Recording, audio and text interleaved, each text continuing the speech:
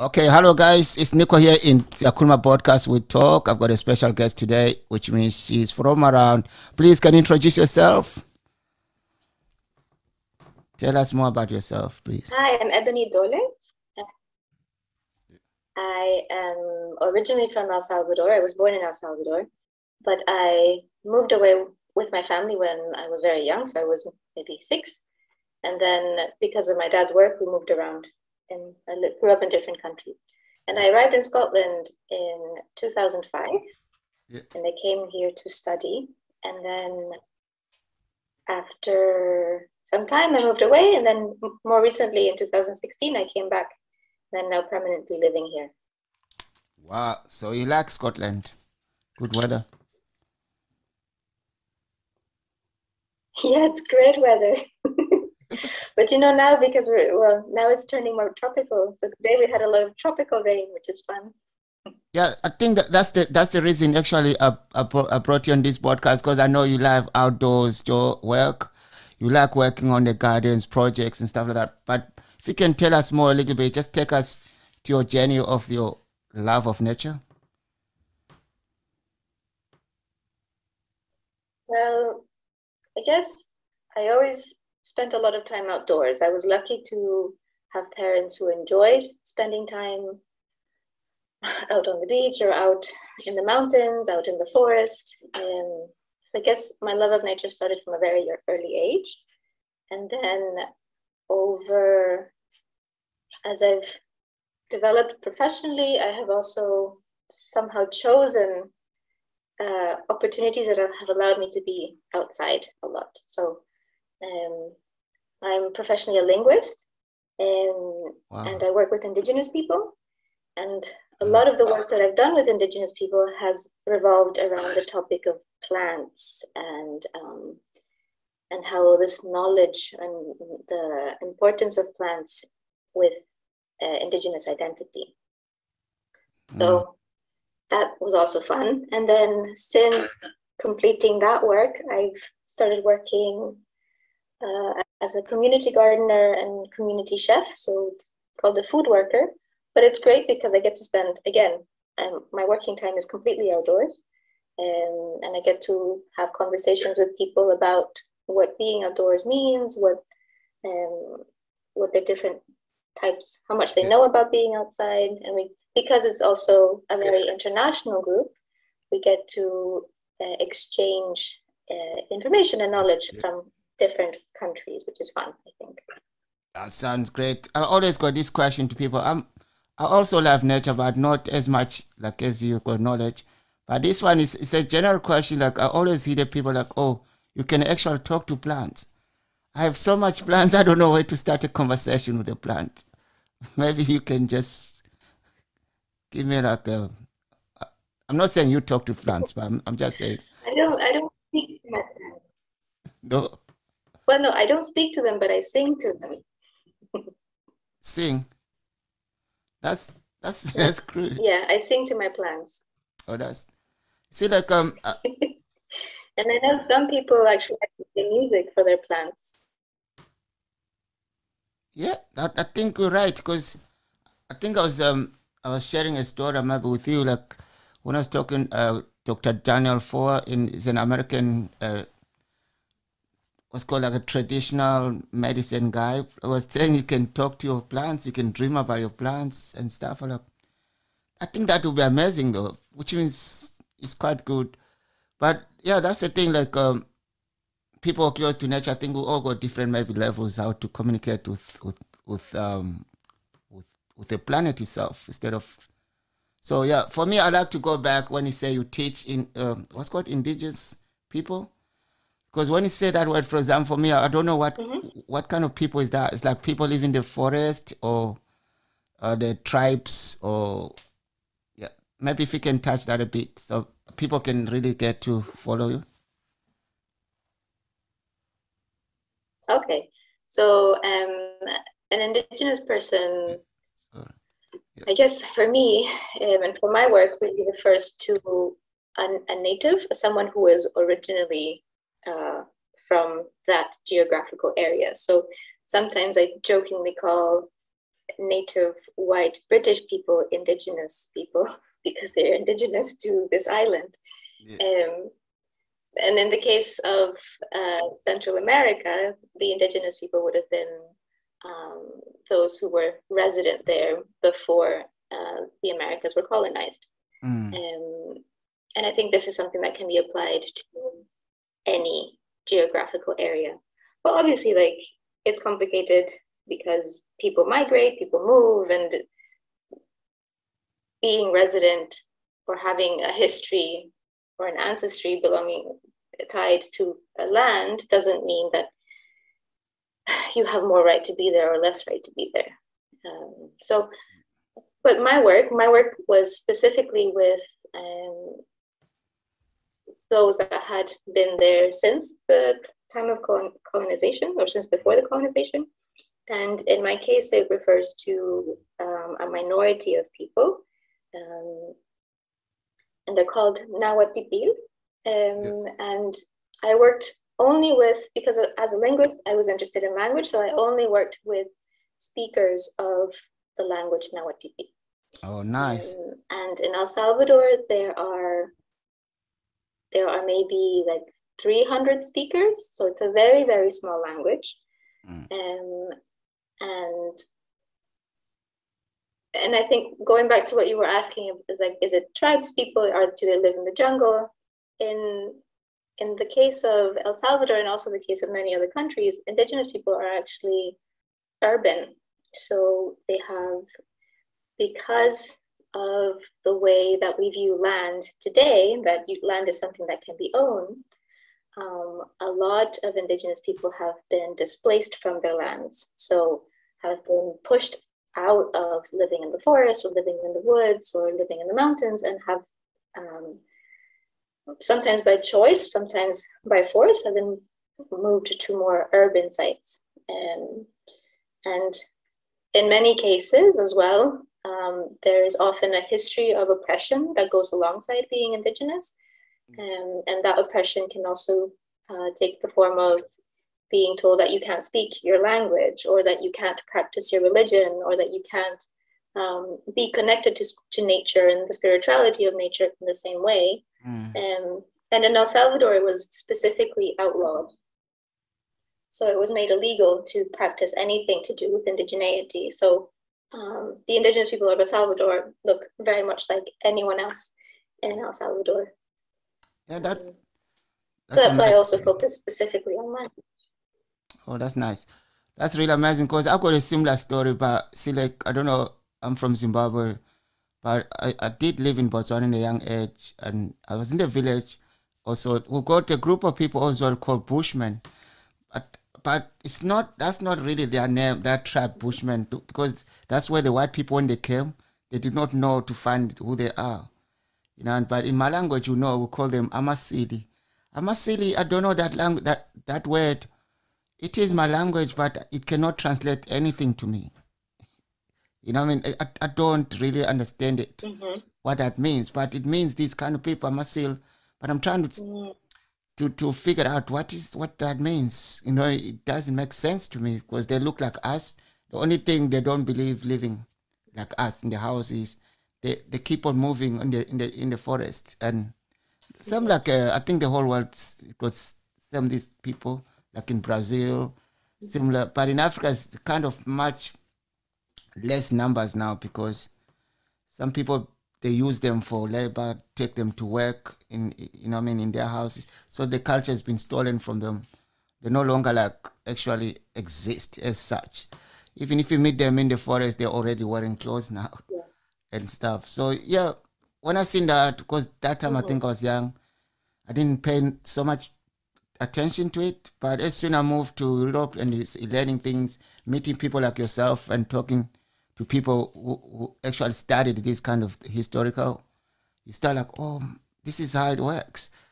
They, they, they are selling the land and they're kicking people on the land, you know what I mean? So, it's, yeah, it's sad. But I think, um, yeah, thank you so much for that. But now we're moving to the topic that the world is boiling with. It's called the climate change. I know you might have maybe some similar views like me, but I want I want to really get to talk about this issue every time I've got a guest on the show because it is our duty actually to actually, yeah, have a chat. Like I know you love the outdoor as well, so maybe you can surprise me. Tell me something. Uh, what do you think? What's your views, by the way? Like, do you think the climate change is getting worse or is getting better, or we're gonna reach the the target of numbers that they talk about 1.5 degrees? I don't know.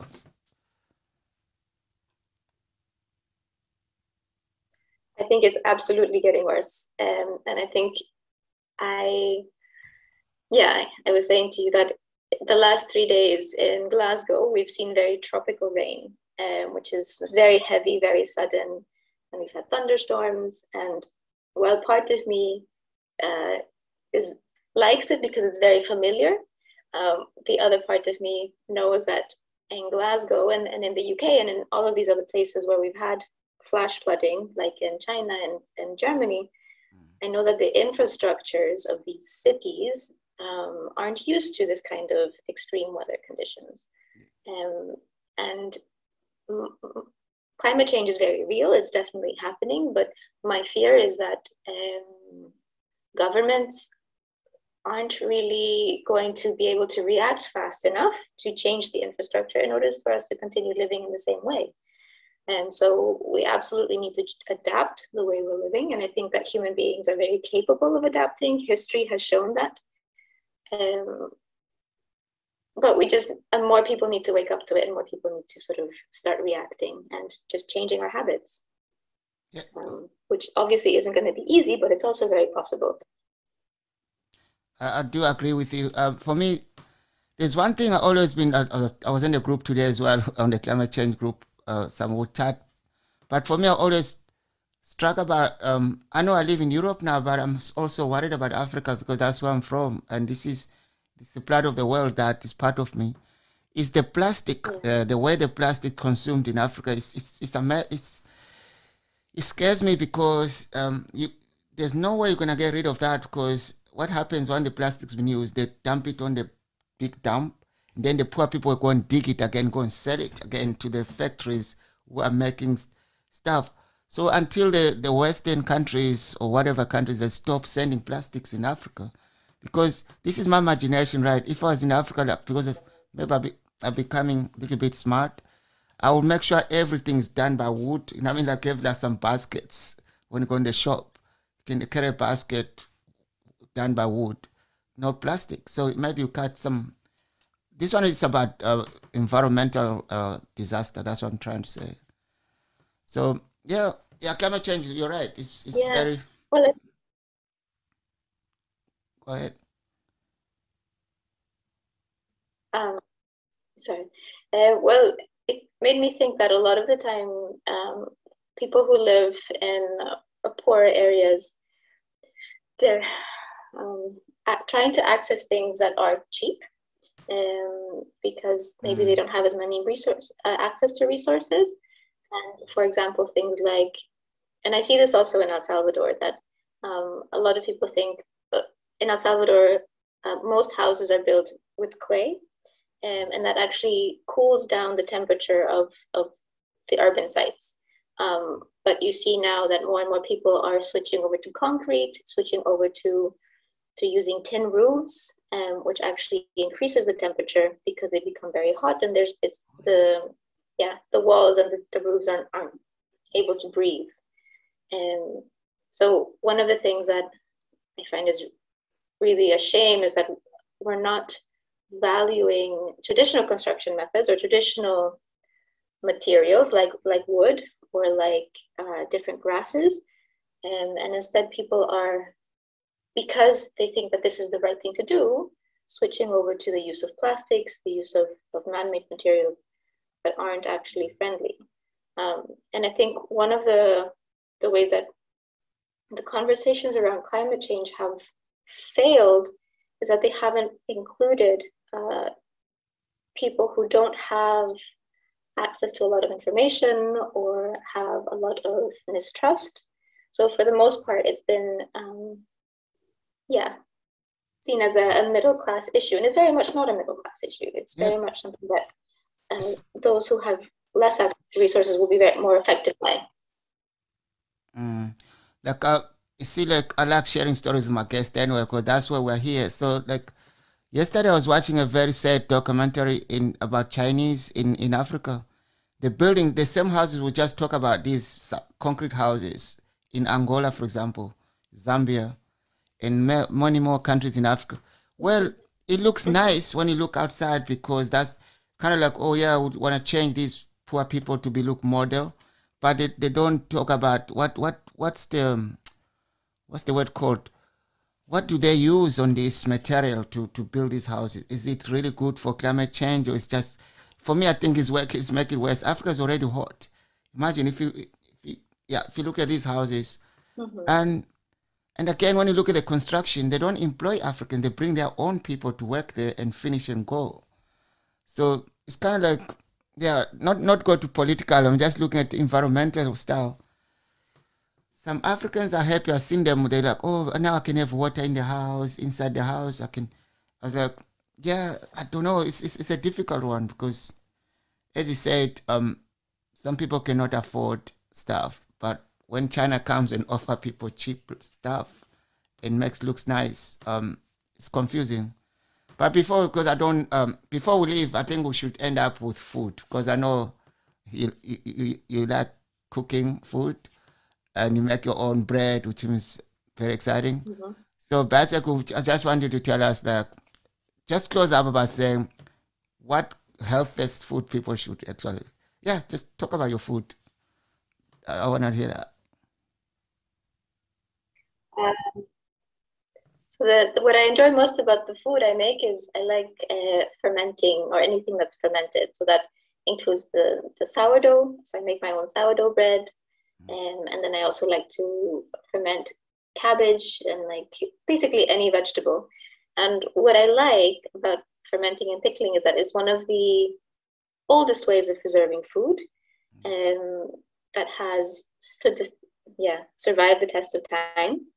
And that it's something that that is also really healthy and, and you know when you're because when you're fermenting you're introducing all of the bacteria the good bacteria that's present in your hands that's present uh, in your surroundings and you're introducing that into the into the vegetable that you're preparing and it also makes it much more um, easy to digest for the human body. And, and, then that means we get all of the nutrients um, that are really beneficial for us.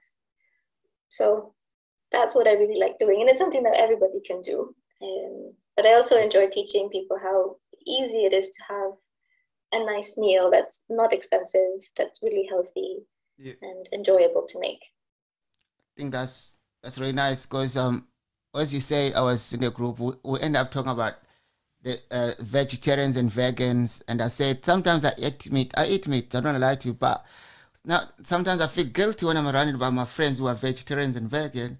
I'm thinking this is bad, but so we're trying to find a balance. How do we actually, we're all working together as a group to fight climate change, environmental, and eating healthy. And then for me, I was born in Africa. First thing your mom hold you before your teeth, they shove in the meat in your mouth anyway. You just like start eating meat from the zero age. So it become like uh, kind of like a traditional thing. Um, and again, we need to accept the world's changing, of course. We, we, can't be hold on from the past and stuff. So, so I was like, then one guy, uh, he, he made ex- exactly the point you're making earlier on about it depends how much man, some people cannot afford to do these vegan, um, uh, vegetarian meals or to be a vegan. Some people's vegan is a choice because that's what they're, but, but I think someone was saying like the past four, five years, the vegan and vegetarian, it went up. People actually changed the diet to go to veg, vegetarian, um, vegan, which is a good thing, I think, for me that we all have to shift. The reason why I say this, I always laugh, but it's not funny. I was watching a documentary of the farms in, in Scotland or somewhere. The guy is loading about 100 pigs in the car, and I knew these pigs are not coming back. And that makes me think, what the hell is going on? I mean, mm-hmm. so yeah, it's, uh, I think like uh, animals been eaten before, but now they're not eaten as like in normal life. Now it's about money. You know, I mean, like yeah, it's, yes. it's sad, but I want someone to convince me why should I be vegetarian and a vegan as well. So not convinced, kind of like we're talking about like some people need support. Yeah, they need support to understand. Yes, it's healthy. I know that, but the cooking of it, I think I need a lesson. Honestly, I can't. I can't really say okay today I'm cooking vegetarian. Yeah, I can have rice with beans and onions and whatever, but that's not really vegetarian. Vegetarian, I'm sure they got some uh, recipe. What's called some stuff they put in there. So yeah, that's uh, I don't know how to close the point to make is that yeah, eating health. That's what I'm trying to make to do. You know, and do you think there's something wrong about eating meat? Just yeah, just in your own view. Do I think what? Is it wrong to eat meat? Mm-hmm. Uh, so, in my view, I don't think it's necessarily wrong to eat meat, but I think we need to drastically reduce the amount of meat we consume. So I don't think it's healthy for us or the planet to eat meat three times a day, for example. I think that's really, really bad for for everyone. Um, but for example, even if you reduce to having meat two to three times a week, that's already reducing so much the consumption. And if you make, and the thing is, meat can, when you have something too much, you stop enjoying it as much because you take it for granted. So if you reduce the, the amount of meat you make, you consume, and then you take the time to actually prepare a really delicious meal, then I think you also enjoy the process more. Yeah. And and uh, veg- vegetables, I know that a lot of people have this prejudice against vegetables, but I think it's also because as a society, we, we have moved away from actually spending time in the kitchen cooking because we think that uh, because we're trying to be capitalist basically. And we think that time is money and then any time that you spend is money that you're losing. But the reality is that if you're spending time on creating something that's really beneficial for yourself and beneficial for your environment then we, we need to move away from this view that that time is money and that yeah. and actually think about how much care we spend with, uh, with the time